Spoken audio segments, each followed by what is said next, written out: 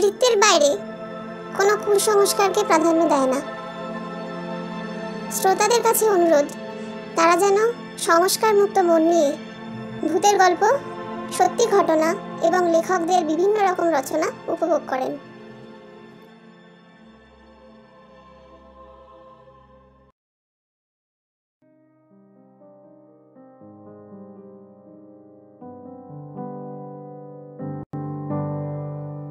বৃত্তের বাইরেতে আজকের নিবেদন সেকেন্ড ফ্লোর গল্প এবং গল্প পাঠে আমি, ঋতুবর্ণা। শুরু হচ্ছে আজকের নিবেদন সেকেন্ড ফ্লোর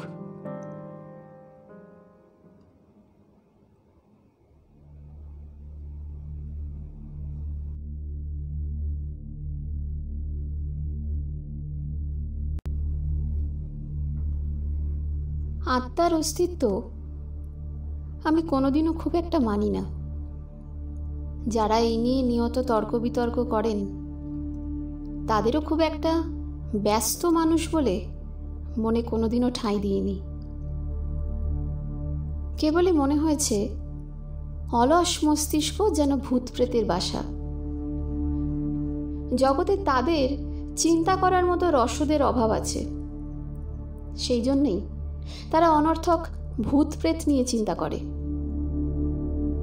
বরঞ্চ চিরকালই মনে হয়েছে, জগতের সবচেয়ে বড় অশরীরী শত্রু বলে যদি কিছু থাকে, তা হল খিদে।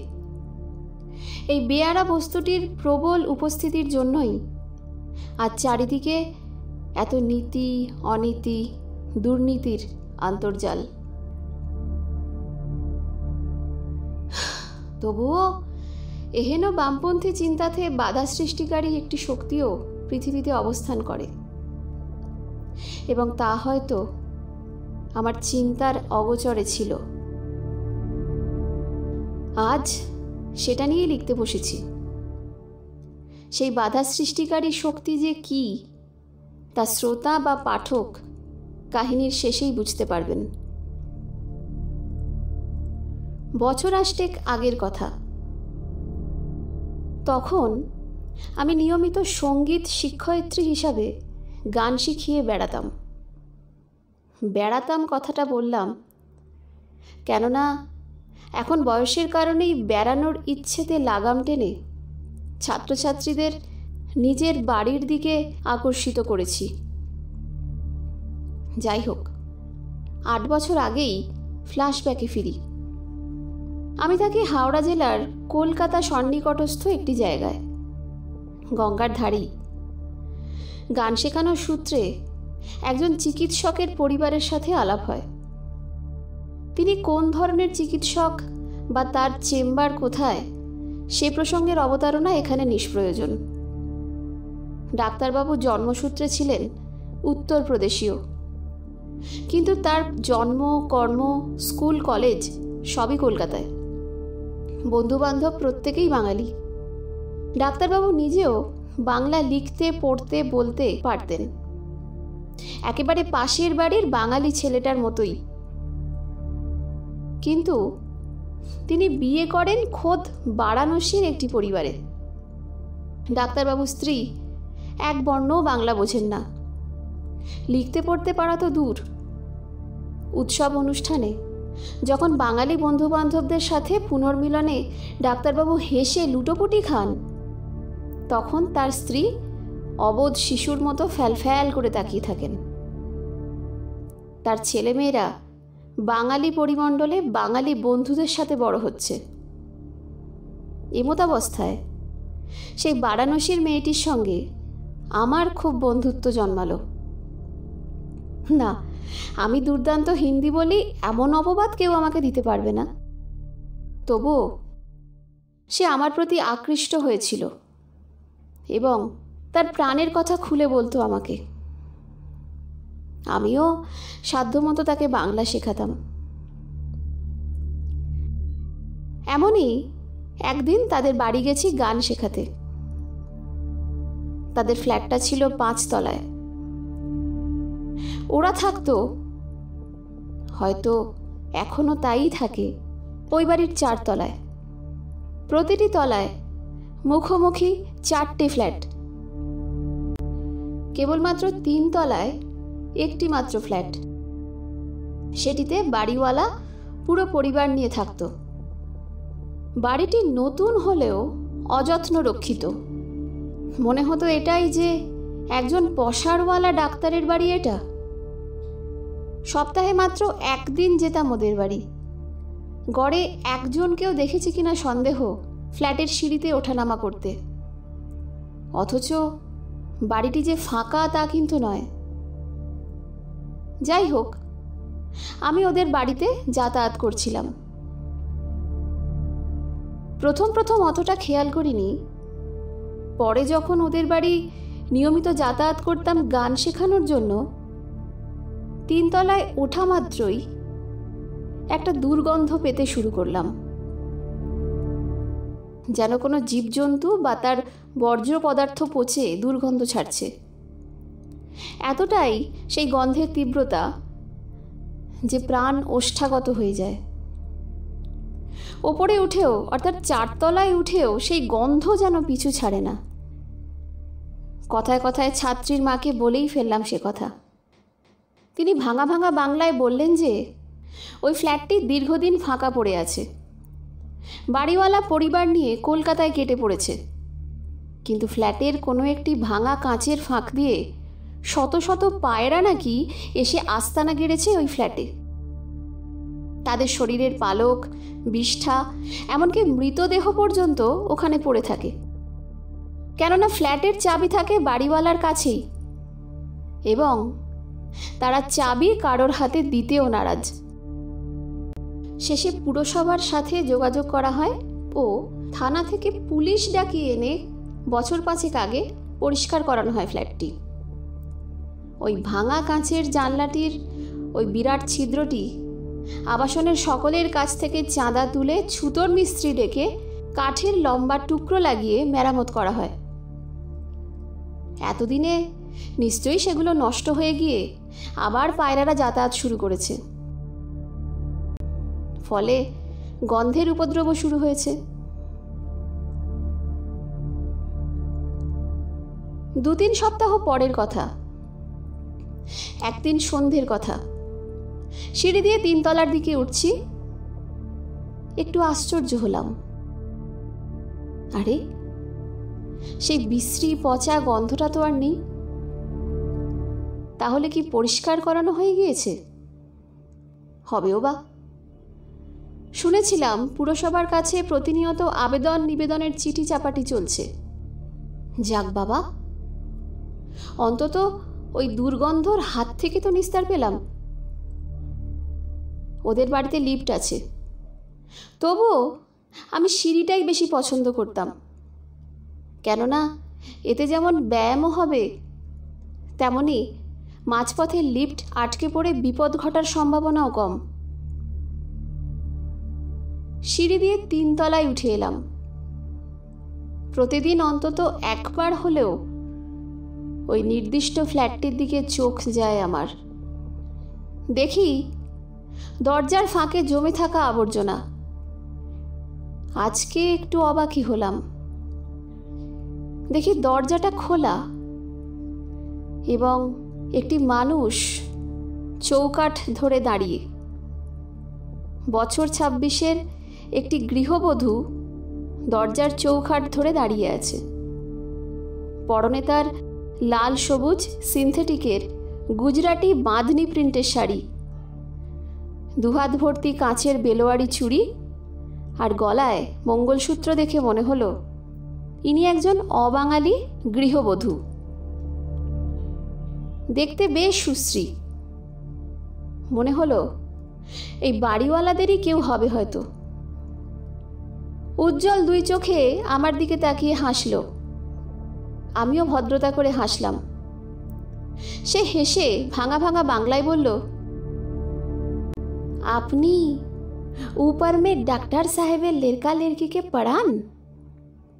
আমি বাংলাতেই বললাম না আমি ওদের গান শেখাই সে একটু যেন বিস্মিত হয়ে বলল ओ आप म्यूज़िक सिखाते हो मुझे भी ना दीदी মিউজিক বহুত পছন্দ হ্যায় আমি আর কি বলবো পা ঘষতে লাগলাম হঠাৎ সে বলল पता है दीदी हमारो ना लड़की होवे और उ- उसे भी ना मैं गाना सिखाऊंगी এবার আমি একটু লক্ষ্য করলাম তার চেহারাটা হ্যাঁ আমার অভিজ্ঞ চোখে তাকে এক ঝলক দেখেই বোঝা যায় সে সন্তান সম্ভবা আমি হাসলাম সে বলল हमार लड़की को अब गाना सिखाएंगे ना दीदी আমি সম্মতিসূচক মুচকি হেসে ওপরে উঠে এলাম মনে মনে বললাম কবে রাম রাজা হবে আর কবে সে বনবাসে যাবে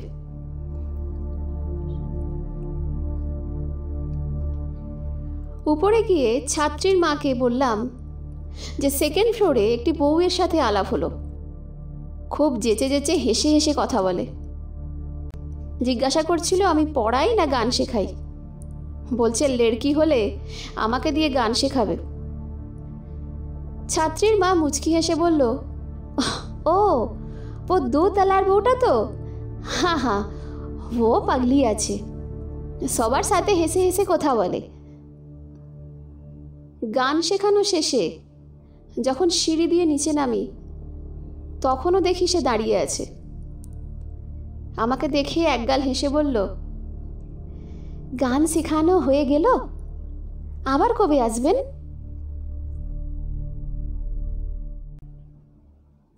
এইরকম প্রতিটা মঙ্গলবারই রূপার সঙ্গে আমার দেখা হতো।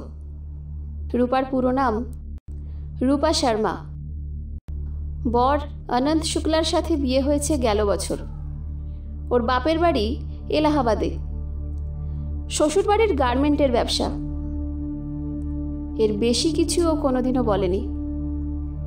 এটুকুও বলেছে নিজের থেকেই।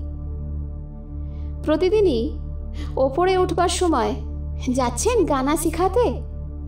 আর ফেরার সময় শিখানো হয়ে গেল?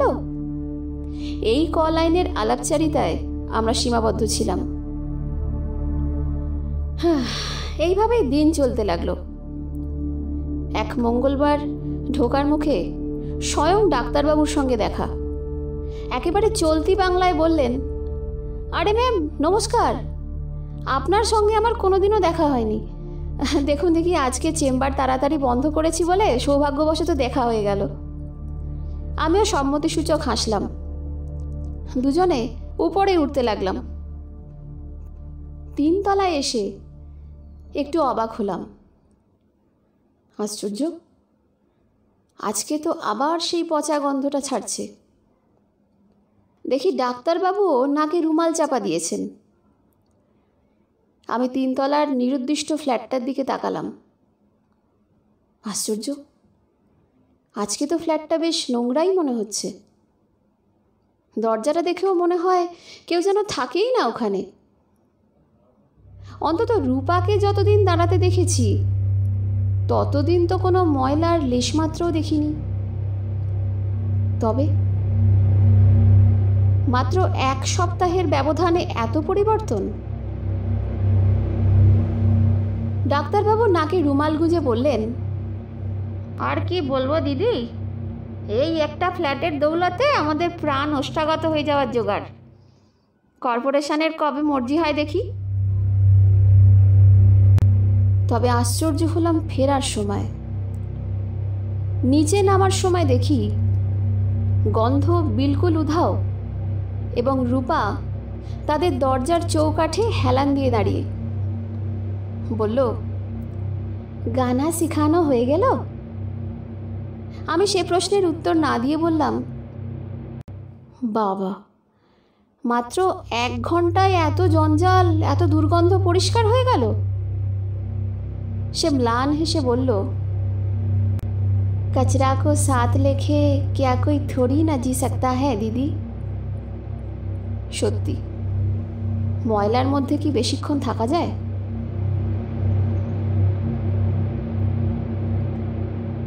এইভাবে আবার প্রায়শই তার সাথে দেখা হতো।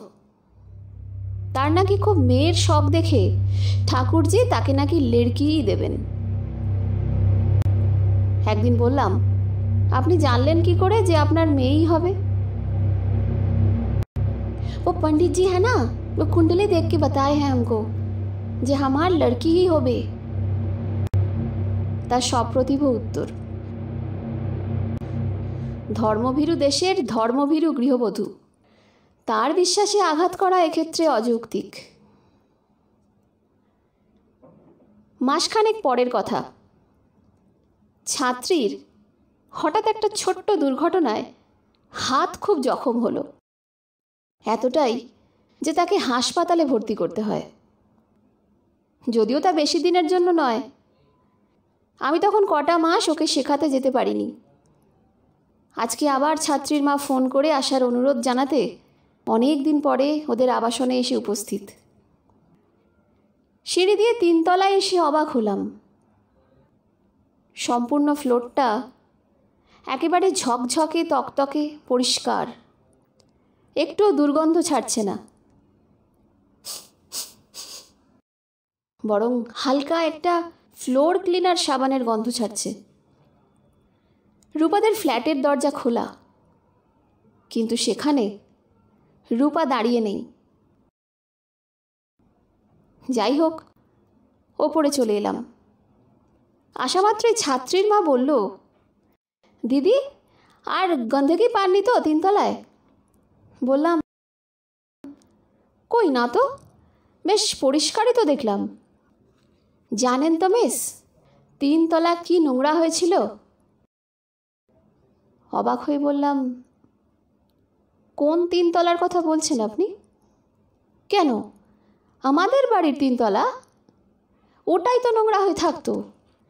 যে ফ্ল্যাটে বাড়িওয়ালারা থাকতো, ওটাই তো সাফা করা হলো। বললাম, আমি তো তিনতলা পরিষ্কারই দেখেছি। আপনাদের বাড়িওয়ালার বউটা তো দাঁড়িয়ে থাকতো। আমার সঙ্গে কথা বলতো। আপনাকে বলেছি? বাড়িওয়ালার বউ? হ্যাঁ আমি তো আপনাকে বলেছিলাম সেকেন্ড ফ্লোরে একটা অল্প বয়সী বউ দাঁড়িয়ে থাকে। দেখা হলেই বলে লেড়কি হলেই আমার কাছে গান শেখাবে। মনে পড়ছে? ছাত্রীর মা একটু যেন চিন্তাগ্রস্ত হয়ে পড়ল। বলল, ও আচ্ছা আচ্ছা আপনি সেকেন্ড ফ্লোর বলিয়েছিলেন না হুম আমি ভেবেছিলাম দুতলা हर दूतलाय पिंकी नाम का एक लड़की है वो ऐसी ही है কিন্তু তিন তলায় বউ আহ, তবে কি শেষের কথাগুলো শবতক্তির মতো শোনালো তারপর বলল আচ্ছা দিদি वो देखने में ऐसा थी क्या বলে তার চেহারার বর্ণনা দিল বাস্তবিকই রূপার চেহারার সঙ্গে তা মিলেও গেল এবং এটাও মিলল যে সে অন্তঃসত্ত্বা ছিল এবং আশ্চর্য এটাও তার পরনের সাজ পোশাকের সঙ্গেও তা অবিকল মিলে গেল ছাত্রীর মা মাথায় হাত দিয়ে একটা দীর্ঘশ্বাস ফেলল কিছুক্ষণ সময় নিয়ে বলল दीदी वो तो बारह साल पहले मर चुकी है আমি ধপাস করে বিছানায় বসে পড়লাম। বললাম, কিন্তু কিন্তু আমি তো প্রতিদিন ওকে দেখতাম, ওর সাথে কথা বলতাম। ম্লান হেসে ছাত্রীর মা বলল, না দিদি, আপনার ডর লাগবে বলে এতদিন বলিনি। আমাদের এই বাড়িতে অনেকেই ওকে দেখেছে। পরনে ওই একই পোশাক? একই গহেনে? আমাদের বাড়িতে কেউ সন্ধেবেলা একান্ত দরকার না পড়লে বাড়ির বাইরে যায় না। সিঁড়ি দিয়ে ওঠানামা করলেও হয় দল বেঁধে, নয়তো ফোনে কথা বলতে বলতে ওঠে। ডাক্তারবাবুও ফেরার সময় নিচ থেকে ফোনে ডাকেন। আমি আর কাজের মেয়েটা নিচে গিয়ে নিয়ে আসি। তখন আমার মনে হলো তাই তো? আমি তো রোজই ওকে একই পোশাকে দেখেছি। কোনোদিন তো ওটা মনে কোনো রেখাপাত করেনি। ঘামতে ঘামতে বললাম, কিন্তু কিন্তু ও- তাহলে কে? ছাত্রীর মা আমাকে এক গ্লাস জল পান করিয়ে তারপর বলল আপনি যাকে দেখেছেন, ও হলো রূপা শুক্লা। এই বাড়ির বউ। এলাহাবাদের মেয়ে। অনন্তের সাথে বিয়ে হয় এলাহাবাদের শর্মা পরিবারের ছোট মেয়ে রূপার। ধুমধাম করে।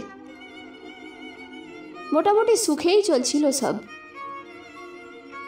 একদিন জানা গেল, ও প্রেগন্যান্ট বাড়িতে সবাই খুব খুশি। কিন্তু ওদের বাড়ির নিয়ম ছিল, এই পরিস্থিতিতে ডাক্তার না দেখিয়ে পণ্ডিতজিকে ডেকে কুণ্ডলি বানানো। ওর পণ্ডিত ওর হাত দেখে বলল, ওর মেয়ে হবে। ব্যাস, গোটা বাড়িতে যেন আলো নিভে গেল মুহূর্তেই। ওরা বলল, এটাকে অ্যাবর্ট করতে। কিন্তু ও রাজি হয়নি। ফলে চলল অত্যাচার। একদিন সহ্য করতে না পেরে এই পিছনের জানলার কাঁচ ভেঙে নিচে ঝাঁপ দেয় তবে কেউ কেউ বলে ওটা নাকি আত্মহত্যা নয় খুন ছিল ওর শ্বশুর বাড়ির লোকেরাই নাকি ওকে মেরে নিচে ফেলে দেয় और पता है দিদি যখন ওর লাশটা পাওয়া যায় তখন ওর পরনে ওই লাল সবুজ শাড়িটাই ছিল। প্রচুর থানা পুলিশ হয়। কিন্তু আইনের হাত যেমন লম্বা, কালা আইনের হাত আরও দুগুণ লম্বা। অনন্তের জেল হয়নি। জামিনও পেয়ে গেছে। তবে কি জানেন? কুদরাতের আইনের কাছে অনন্ত শুক্লারা নেহাতি বাচ্চা। ওরা আর এ বাড়িতে থাকতে পারেনি কোনো দিন কলকাতাতে চলে গেছে। তবে সবচেয়ে সবচেয়ে আশ্চর্য কি জানেন? আমি দমচাপা কণ্ঠে বলি, কি? ছাত্রীর মা বলে চলে, এর আগে পাঁচ সাল পেহলে যখন ঘরটা সাফা করা হয়, তখন ওই জানলায় একটা কাঠ লাগানো ছিল। কাল সাফ করতে গিয়ে দেখা যায়, সেই অত বড় কাঠটা খোলা। আপনার কি মনে হয় দিদি? এটা কোনো পায়রার পক্ষে সম্ভব? এরপর নাকি ওই ঘরে অনেক হোম যাগযজ্ঞ করা হয় রূপার বিদেহী আত্মার শান্তির জন্য। কোনো ফল ফলেছিল কিনা জানা নেই। কেননা ওই বাড়িতে, ওই দিনই ছিল আমার শেষ দিন। আর কখনো সাহস হয়নি ওই তিনতলা দিয়ে চারতলায় উঠতে। কে জানে? হয়তো দেখব দরজার চৌকাঠে হাত দিয়ে দাঁড়িয়ে কেউ আমাকে বলবে, দিদি, আমার লড়কিকে আপনি গানা শেখাবেন তো?